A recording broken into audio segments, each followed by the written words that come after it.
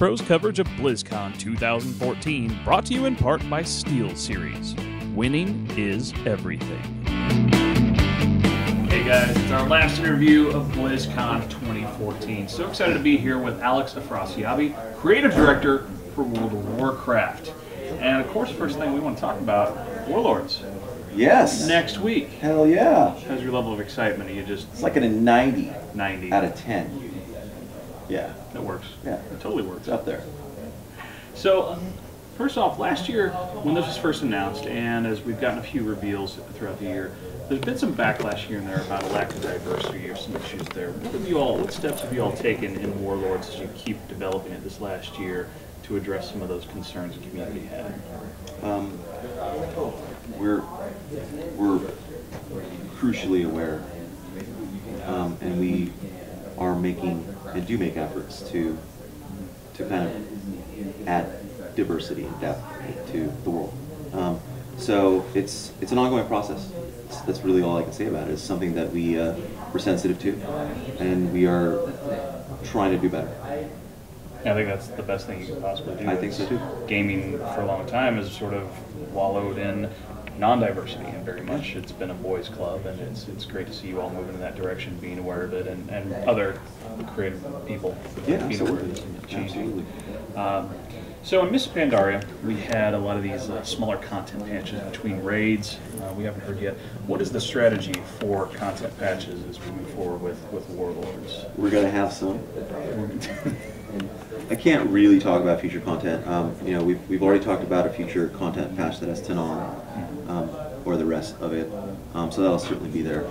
Um, there will be an awesome raid, for sure. Guarantee it's awesome. Um, but really, I can't really talk, go into detail about stuff we just haven't released yet. Right. Um, but uh, we're actively working on stuff. I think we're more, like, is it, you plan on the same, I guess, sort of schedule, smaller stuff, or you can't even get into that? I can't. Okay, Yeah. that's fine. Uh, It would kill me. That's fine. I'd be disappeared. I always knew it. I knew it. That's right. Yep. Yep. Uh, several months ago, we had an we had an Artcraft about accessories like the hunter quivers, paladin relics. Haven't really seen or heard anything about them since. Are they still in the pipeline for warlords? Um, I cannot confirm that they are or are not, because I really don't know. Um, uh, we, we have a lot on our plate at all times. Our plates, our table. It's a table full of plates. Um, and so uh, we absolutely want to do stuff like that. And I think Chris Robinson has said as much as well. Um, but it's it's that's, it, that's his wheelhouse more so than mine. Um, so hopefully, I'm hopeful too. Like every other fan, I want them. Talk about garrisons for a second. Yeah. Big new feature. Um, we've heard a lot about them. Pretty much, I think most of the information's out there at this point. With the, the launch coming up next week, what we were wondering is for for players who aren't able to put in as much time from week to week. Maybe they're not big, you know, they're not putting in 10, 15 hours a week on the game, or you know, maybe even a couple hours is a struggle. Uh, there might be a concern that. You know, are they going to really feel overwhelmed just trying to approach garrisons, or how is that sort of being mitigated to allow garrisons to feel like something that everybody can get into? Um, we design it that way. That garrisons are something that everybody can get into, and with what you just said in mind to some degree as well, which is um, we do not want you grinding your nuts off in a garrison for five hours a day. That is not the intended gameplay. Um, and we we do expect that you can check in a couple times a week and have success in your garrison. Um, so if you check in more often, certainly it'll be better. Um, but so is that is applicable for the game as a whole. Right. Right. So, um, but they're absolutely friendly for you know. There's the offline progression portion of things. Like you send your dudes out on missions. We've got 10 plus hour missions. Go to bed, wake up, maybe check in, maybe you don't, but he's doing stuff for you, or she, um, and or it. Honestly, there's weird things as followers. Um, so it's completely in consideration, and hopefully that players that don't have you know dozens of hours per week to dedicate will still have enjoyment out of a garrison. Will still gain enjoyment out of garrison. It's great. We're real excited on our team for Warlords. Looking forward to it next week, and uh, everybody's getting pre-ordered and ready to go Nice. on it. So let's talk about 10 year anniversary. Yep. That's huge. Now, this is crazy. I was, I was looking this stuff up. The other most popular games in 2004, Mm-hmm. when World of Warcraft came out, you've got Grand Theft Auto San Andreas, Mm-hmm. Halo 2, Half Life 2, and Metal Gear Solid 3 Snake Eater. It's amazing. Now, these are all games that came out on things that you're talking about technology that had been put out to pasture long ago. Consoles and, and old video cards that, by God, if they're still functioning, that's that's that's Yeah. that's bewildering. Um, and every year, of course, we hear that some new games come out that will be the death bell of WoW. And it, it's always bullshit. It doesn't happen. WoW's still here. And uh, new expansion this week. Millions of people still monthly subscribers in a world of sort of free to play freemium. How has WoW managed to evolve and keep recapturing these imaginations and that loyalty year after year?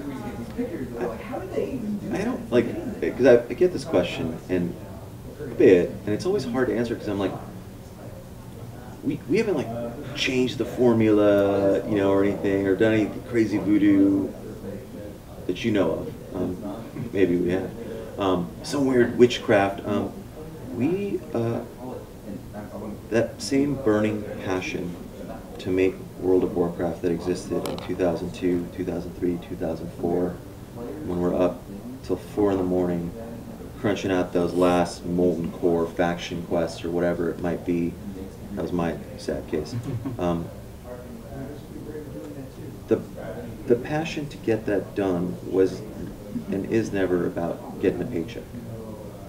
It's about I love this game. I love playing this game. I want to make it better. And if there was any one magical bullet or answer to the question, it would be that um, there's 200 other, 400 other, 500, 1,000 other people exactly like me working on WoW. And so when you face that, and the public takes that, like you can you can feel it, like you can feel it playing WoW. It's like you, you see it there. You feel the the the the passion of the player, of the, the designer, the developer, um, because they so badly want to make the most awesome MMO in the world, and they're doing it. It's beautiful. And that's often the case with a lot of great things, not even just games. Uh, you know, the, the founder of Whole Foods talks about conscious capitalism, the idea that if you're going after, some, after something you're passionate about, something you love, you're trying to make the world a better place or whatever it is, the money just follows. And by putting those priorities in the right place, you know, the Yeah. passion shows A- through. a- Absolutely, and I- and I think that um, one hundred percent correct, right? Like, it's, we, we, we- we make the game we want to play, um, and we play the, the game we make. That's it. Yeah. So the flip side of that question, 10 years, we can easily track, we can look up how the game has changed, how the technology's advanced in 10 years. How has that community changed and grown up with World of Warcraft? Huge ways, right? I mean, community has greatly evolved over ten years because, you know, if you think about what was out at the time from an MMO perspective, um, that was our only kind of waterline that we had in terms of like where, where's this thing go? Like where's the upper limit? Or it's like you had EverQuest, which is by the way a fantastic game. Um, played my life away in that one. Um, and UO and DAOC um, is kind of the big three, with EverQuest being the, the king. Um, and at the time, the, the kind of the, the zeitgeist, I guess, of, you know, of that era. Like it's it was very different, right? It was like a like what how games were played and how MMOs were played, and, and it was complete like there were quests, and you didn't do the 100% different. And Then WoW came on the scene and changed the entire script for the most part. You know, we innovated in a lot of places and added a whole new layer, many new layers. Um, and by doing so, we introduced um, millions of more people into the thing that we thought was the coolest damn thing in the world, which is an MMO.